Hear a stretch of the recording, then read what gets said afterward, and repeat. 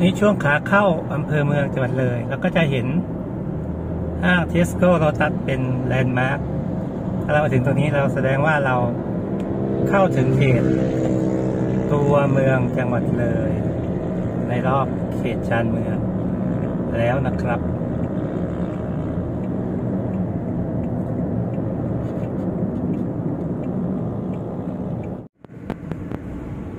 เมื่อเราเลยห้างโรตัสมาแล้ว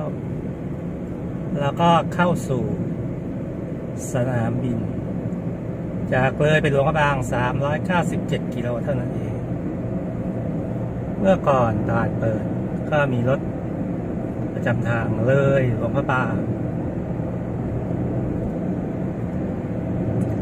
ทางเข้าเมืองก็จะโอเคนะครับสำหรับ จังหวัดเลย รถค่อนข้างเยอะ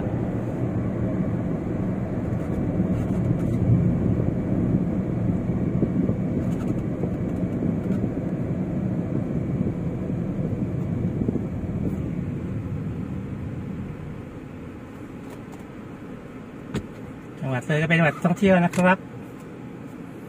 เป็นจังหวัดท่องเที่ยวยอดฮิตของภาคอีสาน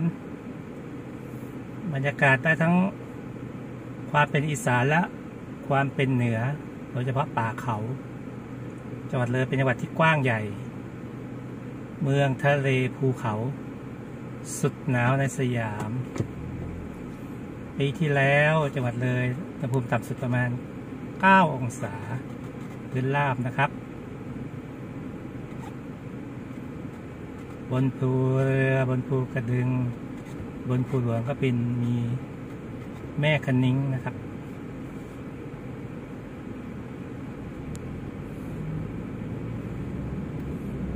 นี้ก็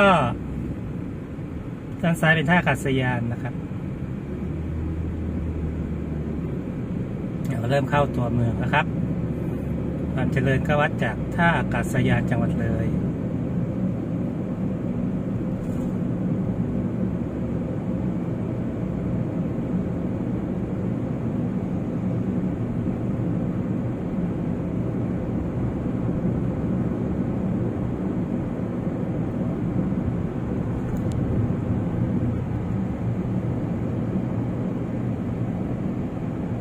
ก็ จะเข้ามาเรื่อยๆ ถนนสะดวกสบายครับ แต่รถค่อนข้างเยอะขับด้วยความระมัดระวัง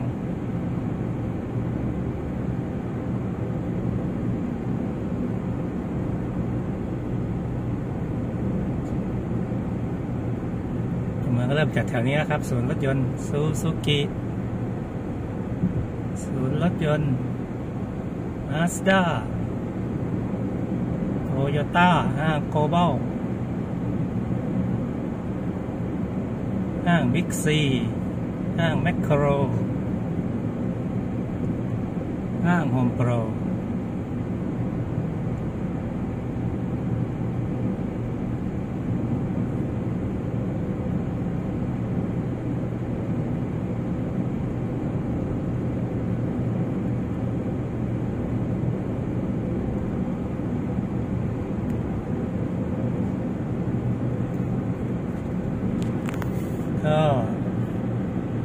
ก็ เข้าตัวเมืองจังหวัดเลยครับ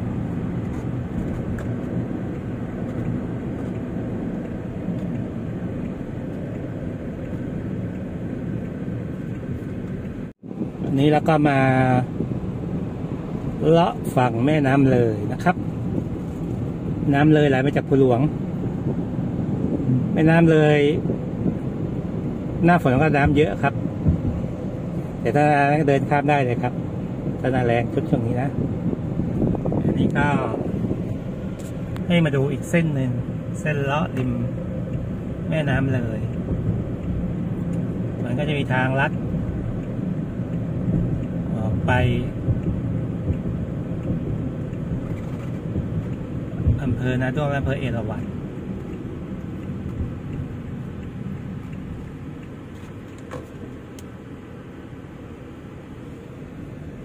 นี่ครับ ถ้าเป็นคนจังหวัดเลยจะรู้จักเส้นนี้ดี จะรัดจากเส้นริมน้ำเลยออกไป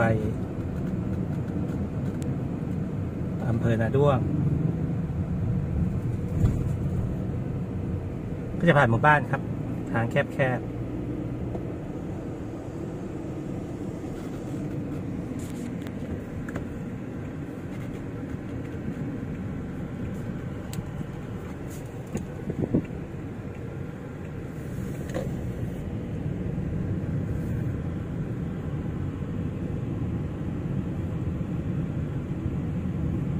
านเส้นนี้ครับโค้งปกติสะพานจะตรงๆนะนี่จะโค้งนะครับ มีบ้านติดต่อ ชื่อแปลกนะชื่อบ้านติดต่อโอเคนะครับจังหวัดเลย อีกมุมมุมหนึ่งครับคลิปนี้เรามาดูจังหวัดเลยนะครับ ที่เห็นสะพานข้างหน้าคือแม่น้ำเลย แม่น้ำเลยก็ไหลมาจากยอดภูหลวง คนทั่วไปถ้าพูดถึงจังหวัดเลยจะนึกถึง เชียงคานภูกระดึงภูหลวงภูเรือแล้วก็สกายบล็อกภูคกนิ้ว แต่จริงๆแล้วจังหวัดเลยเนี่ย มีที่เที่ยวเยอะนะครับ อันนี้เรามาดูในตัวเมืองกันนะครับ บางคน จะไม่เข้าตัวเมืองนะครับ จะเลยไปหาที่ท่องเที่ยวเลยก็เลย จะเอาตัวเมืองมาให้ชมกันนะครับ อันนี้มาจากอำเภอนาด้วงนะครับ นี่จะเข้าตลาดเก่า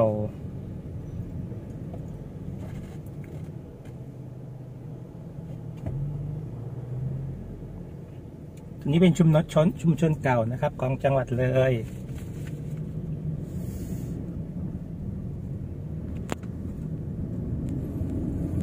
ก็จะปีสภาพบ้านเรือน ที่เป็นตึกทรงเก่าอยู่นะครับ ยังไม่โมเดิร์นตรงนี้ก็เป็นแหล่งเก่าของตลาดจังหวัดเลย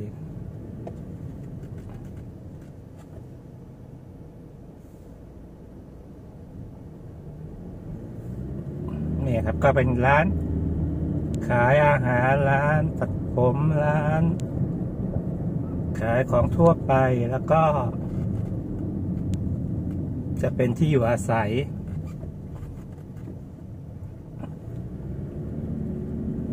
มีนะครับ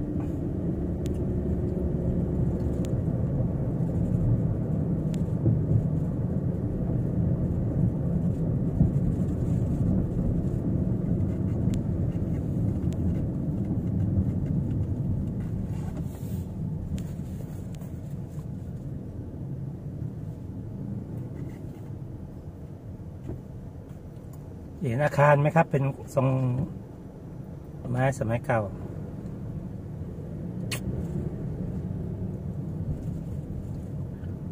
ก็เป็นแหล่งการค้า แล้วก็ส่วนราชการอ่าส่วนราชการสลับกันไปเพื่อจังหวัดเลยจะคึกคักช่วงฤดูหนาว ถือว่าเป็นฤดูท่องเที่ยวนะครับ เอาง่ายๆว่าหลังออกพรรษาจนถึงก่อนสงการก็จะเป็นฤดูท่องเที่ยว ของจังหวัดเลย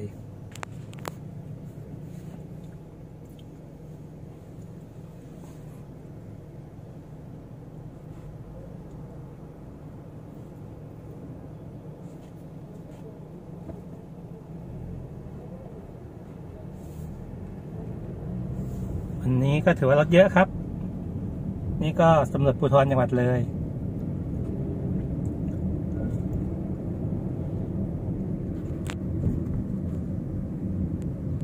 แถวนี้ก็ มีที่พักแล้วก็ร้านทั่วๆไป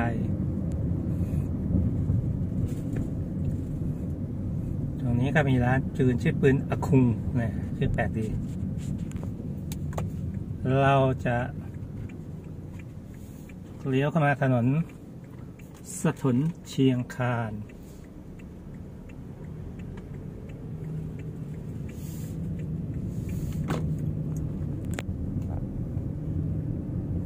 ี้ก็เป็นแหล่งค้าขายอีกเช่นกัน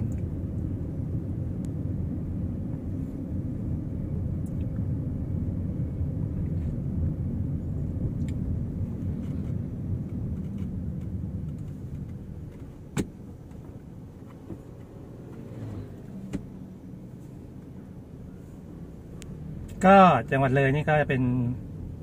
จังหวัดที่ทำพืชไร่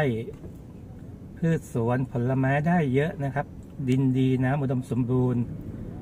นอกจากนี้ยังมีปลูกยางพาราเยอะครับสับปะรดก็มีนะครับ จังหวัดเลย และที่สำคัญคือ เศรษฐกิจจากการท่องเที่ยว ก็เป็นแหล่งรายได้หลักเช่นกัน ที่เราเห็นด้านซ้ายนี่คือโรงหนัง จังหวัดเลยนะครับ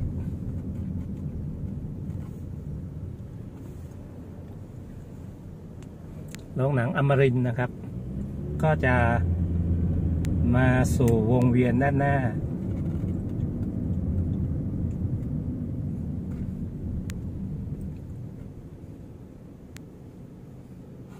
ตรงนี้ก็ถือว่าเป็นกลางเมืองเลยครับ ตรง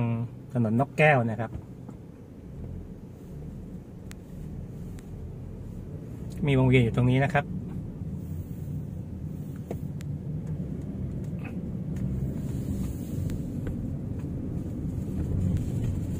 ตรงข้างหน้านี่ก็คือศาลหลักเมืองเจ้าพ่อกุดป่องจังหวัดเลย ก็ศักดิ์สิทธิ์ครับ ถ้าแวะเข้ามาในเมืองก็มาไหว้ดูครับ ตรงด้านหน้าที่เป็นเห็นเป็นน้ำน้ำก็คือกุดป่อง ก็คือน้ำเลย เมื่อก่อนเป็นแม่น้ำลำน้ำเลยแต่ว่าน้ำเลยเปลี่ยนทิศทางนะครับมันเป็นกุดก็คือเป็นหนองนะครับง่ายๆ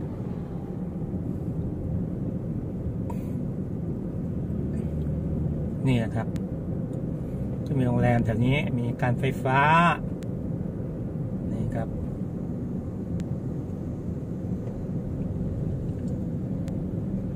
จริงๆแล้วจังหวัดเลยจะเจริญเยอะก็ ถนนมะลิวันจากบางสะพุงเข้าเมือง ช่วงนั้นจะเป็น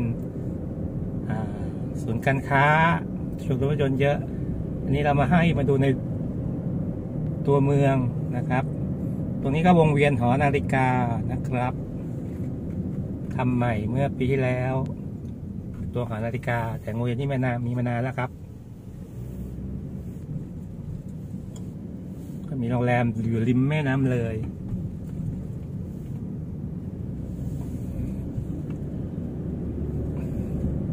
เส้นนี้เป็นเส้นเรียบแม่น้ำเลย ก็มีเทศบาลจังหวัดเลย แล้วก็ไปรษณีย์นะครับ เป็นเส้นที่ วันเสาร์จะมีงานปิดถนนคนเดินที่นี่ครับ ตรงหน้าเทศบาล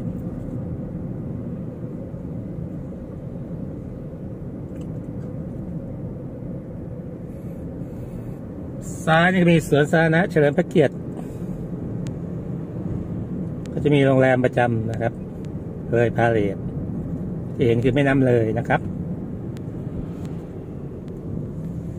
ข้างหน้านี่ก็เป็นโรงเรียนเทคนิค จังหวัดเลย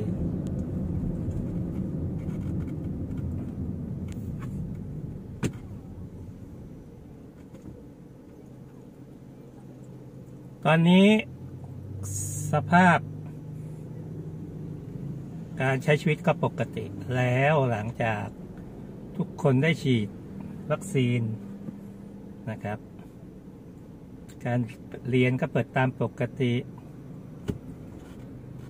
รถจราการจราจรครับ มีมาก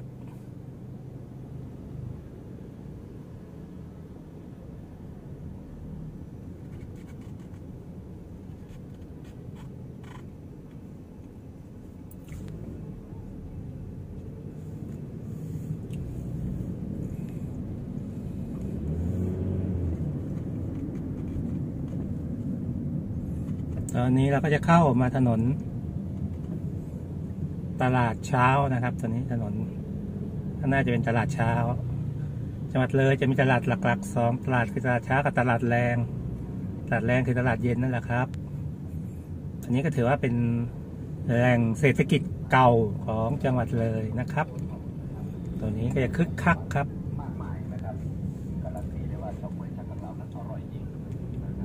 มีโรงแรมมีอะไรเนี่ยไทยอุดมนี่เขามากโรงแรมไทยอุดมนี่ครับนี่ครับ อยู่กลางเมืองสมัยก่อน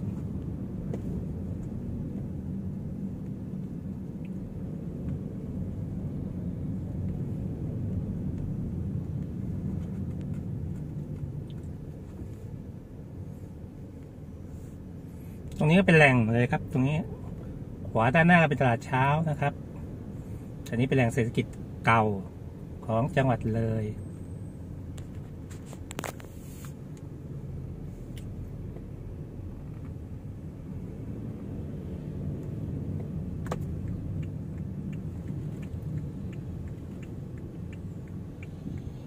นี่คือข้างในตลาด ตลาดสดเทศบาลเมืองเลยนะครับ หรือเขาเรียกง่ายๆว่าตลาดเช้า อั นี้ห้างทองจะเยอะครับ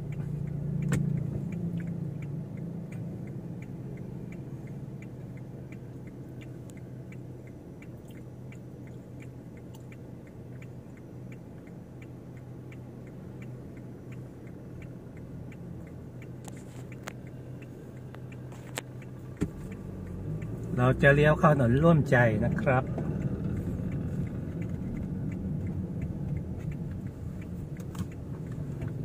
ตรง นี้ก็เป็นจุดที่หนาแน่นเหมือนกัน มีร้านเยอะหลากหลาย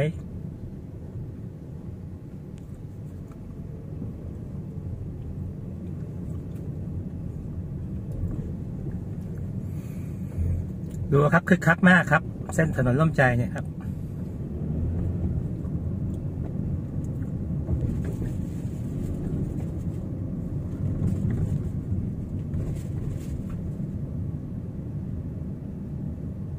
ถือว่าถนนที่คึกคักสุดครับถนนร่มใจ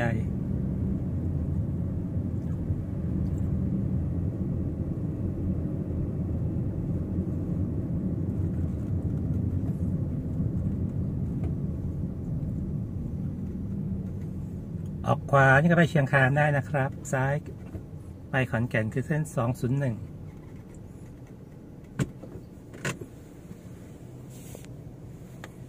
จังห วัดเลยก็เป็นจังหวัดที่มีเศรษฐกิจดีนะครับ มีรายได้จากท่องเที่ยว พืชไร่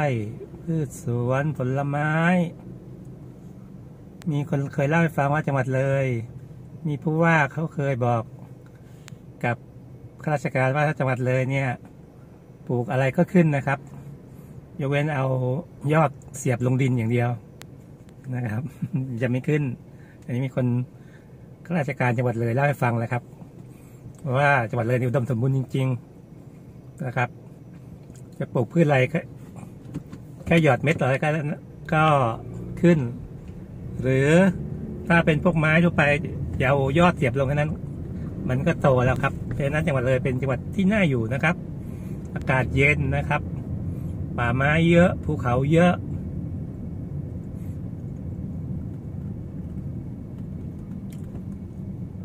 ผู้คนใจดีครับจังหวัดเลยจังหวัดเลยก็จะมีภาษาของเขาเรียกภาษาไทยเลย ก็จะเหมือนลมสักนนี้เป็นสำเนียง หลวงพระบางนะครับ เรียกภาษาไทยเลยถ้าเราได้ยินเราจะไม่เหมือนภาษาอีสานทั่วไปนะครับ เราจะสำเนียงจะออกต่ำนะครับ แล้วก็พูดไม่เร็ว เนี่ยครับสำเนียงภาษาเลย สังเกตในเมืองนะครับ ความเจริญนี่สุดยอดครับ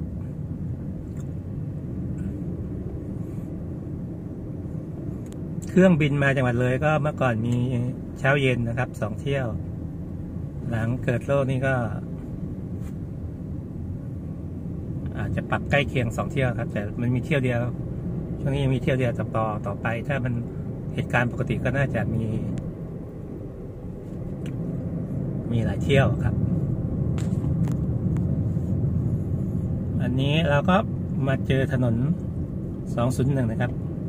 ข้างหน้าคือโรงเรียนเมืองเลย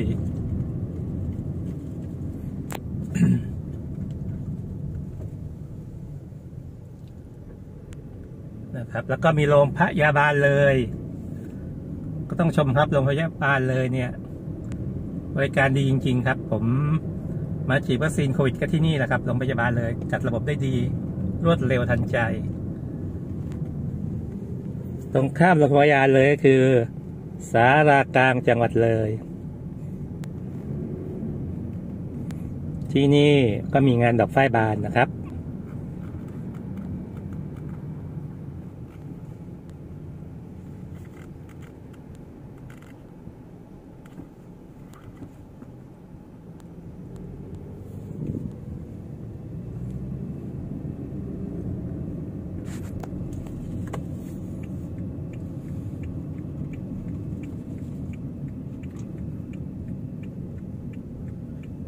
นี่คือถนนเส้นหลักของจังหวัดเลยนะครับ ถนนนกแก้วนะครับ ก็จะ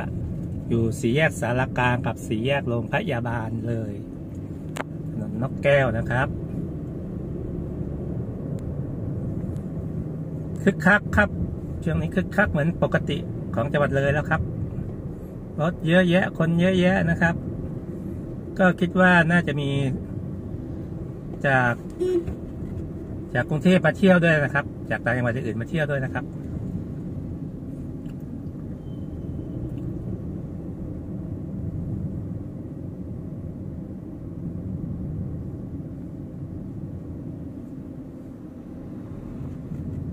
นี่นะครับ ก็ถือว่าคึกคักมากครับ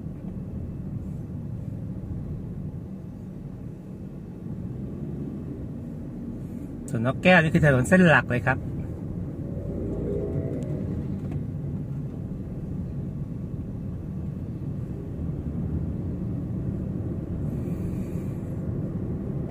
หลักของถนนล็อกแก้วทำเสร็จง่ายๆคือ วงเวียนที่ผ่านมาเมื่อกี้แหละครับ วงเวียนถนนล็อกแก้ว แก้ปัญหารถติดได้เยอะครับ วงเวียน จังหวัดเลยนี่ก็ เก่งเรื่องการใช้วงเวียนนะครับ ผู้คนก็รู้กติกาใช้วงเวียนเป็นอย่างดี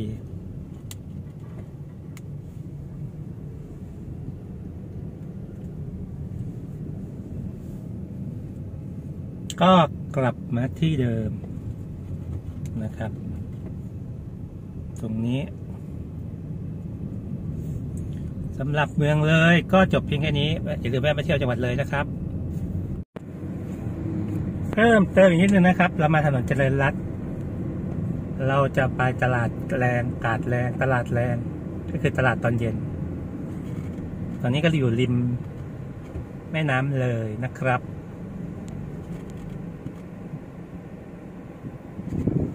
นี่นะครับ ตลาดแรง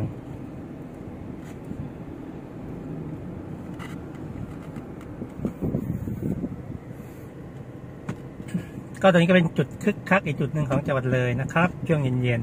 ๆ ก็จะมีการซื้อขาย สินค้าไม่ว่าของกินผักต่างๆก็เยอะครับ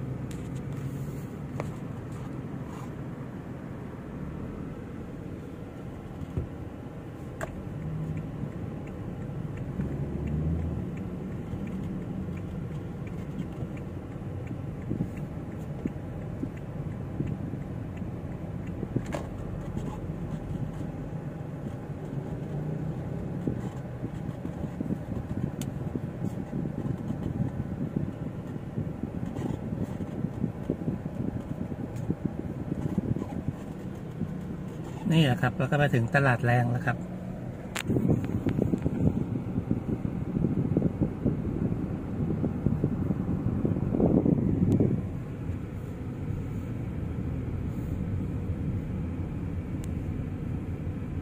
เป็นตลาดที่ใหญ่ครับ ตลาดแรงเนี่ย ผมดูว่าดูแล้วใหญ่กว่าตลาดเช้าครับ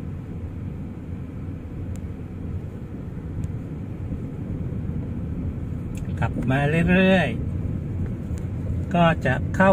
บขอสจังหวัดเลยบขสจังหวัดเลย ตอนปกตินี่เราสามารถขึ้นรถไป ข้ามฝั่งประเทศลาวได้นะครับ ไปหลวงพระบางโดยผ่านท่ารี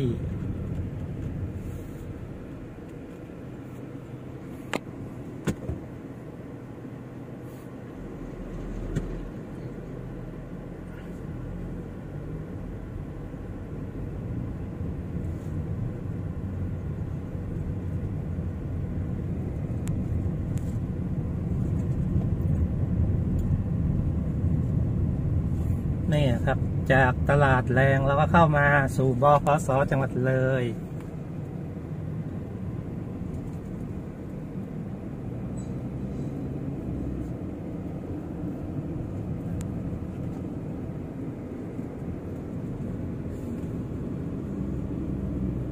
เนี่ยครับบกสจังหวัดเลย ถ้าเราขึ้นรถ จะไปเชียงคานแล้วก็มาลงที่นี่แล้วก็ต่อรถจากเชียงคานอ่าจากตัวเมืองไปเชียงคานได้ มีรถแท็กซี่ส่วนบุคคลด้วยตรงนี้ หรือเราขึ้นนครชัยแอร์มามันก็จะมีท่าอยู่ตรงนี้นะครับ จากมอชิดเราจะมาเที่ยวเลยแล้วก็ลงตรงนี้จากเทียบภูกระดึงก็ลงที่ผานกเขาจะเที่ยว จุดอื่นๆ ก็มาลงที่บกสนี่เป็นถนนเส้นหลักถนนมริวัน ตรงนี้ก็จะมีการ สร้างโชว์รูมรถยนต์ศูนย์การค้าโรงพยาบาล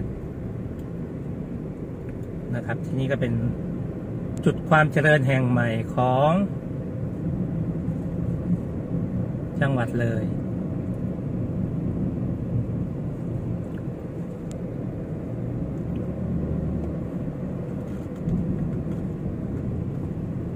มีโฮมโปรมีบิ๊กซี มีโก ลบอลมีแมคโครส่วนลอตัสก็อยู่นอกเมืองประมาณสักเกือบสิบโลนะครับ โอเคนะครับสำหรับจังหวัดเลย ในตัวเมืองคร่าว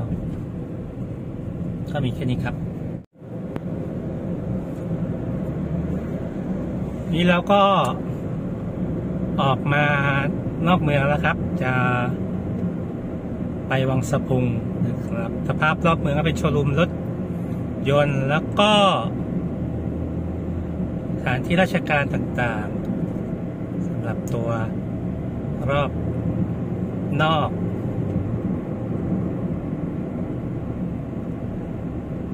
อันนี้บ้านนาอานนะครับ ของจังหวัดเลย ตรงนี้ก็จะมีสนามบิน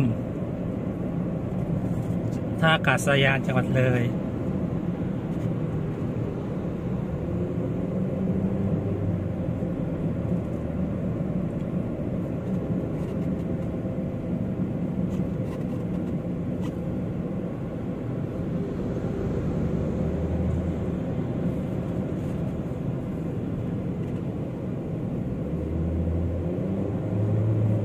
ขวาแล้วก็เป็นท่าอากาศยาน จังหวัดเลยนะครับ ก็จะคึกคักช่วงฤดูท่องเที่ยว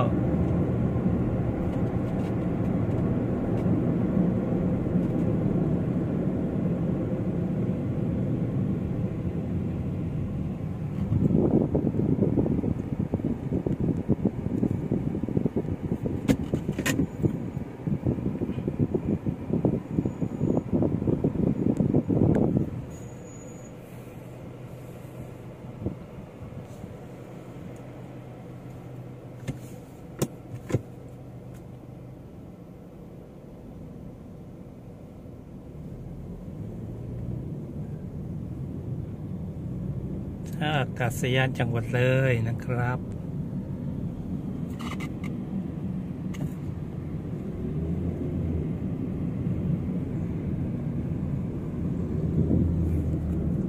เลยท่าอากาศยานไปก็จะเป็น จุดแวะซื้อของฝาก ไม่ว่าจะเป็นอะโวคาโดกระชายดำ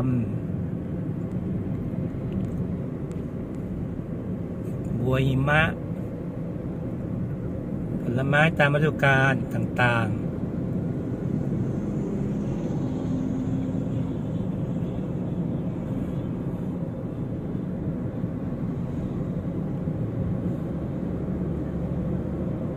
ด้านซ้ายนี่แหละครับ ถ้าจะกลับ กรุงเทพก็ แวะซื้อของฝากเป็นของพื้นเมืองได้เลยผล ไม้ตามฤดูกาลมะขามหวานอะโวคาโด ส้ม สมุนไพรพื้นบ้าน เนี่ยมีเยอะครับ จะมีจุดนี้จุดเดียวนะครับสำหรับตัวอำเภอเมือง จะไปเฟื้อซื้อของฝ่ายทีก็นู่นแหละครับ ก่อนถึงภูกระดึงแถวหนองหินก็จะมีอีกจุดหนึ่งแต่ไม่ใหญ่เท่านี้ นี่อะครับถ้าจะแวะซื้อฝาก สมมติเรามาเที่ยวนะครับ ก็มาซื้อข้ามตรงข้ามตรงนี้เลย ตรงนี้ก็เลยโลตัสมาแล้ว ก็ถือว่าเป็นขอบของอำเภอเมืองแล้วนะครับ เราก็จบเพียงแค่นี้สำหรับอำเภอเมืองจังหวัดเลย